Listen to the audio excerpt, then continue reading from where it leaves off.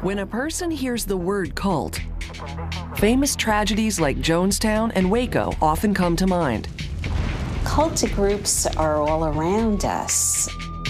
Anyone can become involved in a cult. That when I was nine years old, two really nice Jehovah's Witnesses came to the door and started speaking to my mom, who was a Methodist Sunday school teacher at the time.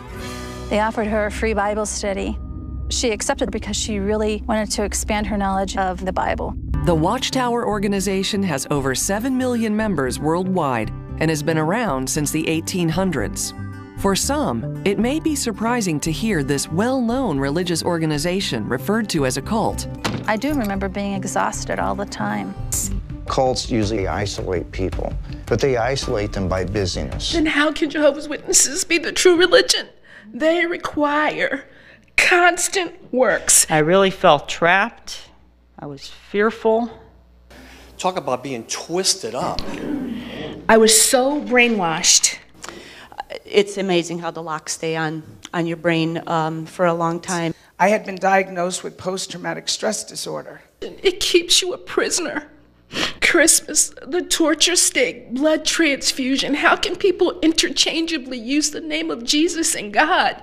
No one at church can explain that because they don't have that as a foundation. And I just wanted someone to learn the Bible with. I didn't know there was good and bad religion. So mm. I personally don't think my mother would have ever joined them had she had the fine print up front and had she known that she would be expected to never speak to her daughter someday. I didn't have the teaching. I didn't have anyone. I...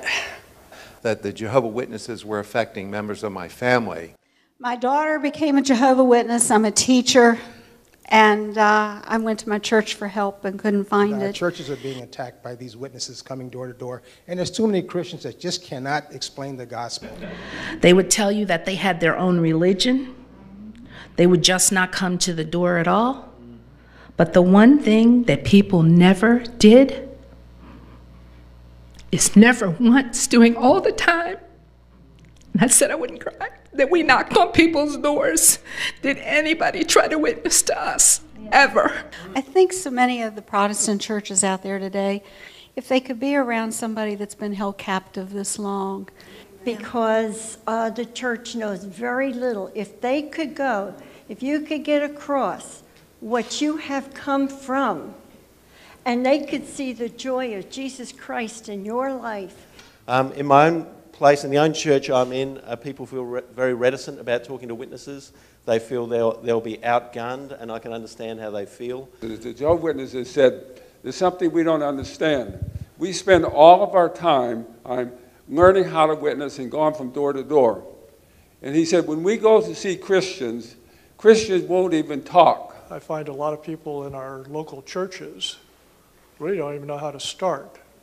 They're just told to stay away. When the Jehovah Witnesses came to my door, that really caught up to me because here they are opening up their Bible and showing me all these, you know, articles and all this about how only 144,000 go to heaven and how Jesus died on a stake and there is no hell and oh by the way Jesus isn't God. All these things and I had no no fuel. I had no armor, no weapons, nothing. I could not open up my Bible and show them why I believed what I believed. Um, if it wasn't for them challenging me, I would not be as strong in my faith that I am today. And then I was challenged for the first time by Jehovah's Witnesses years ago. And uh, I learned that I couldn't defend my faith. You know, we have ministries for Jehovah's Witnesses. We're going to churches, trying to teach churches and strengthen Christians, and, and trying to convince pastors that there's a field out there. I just would encourage those of you who are capable of reaching one of Jehovah's Witnesses, just one, on a one on one basis, that you take the time to do that. When they come to your door, I have my own religion, will never help free them. If one Christian had given us a witness,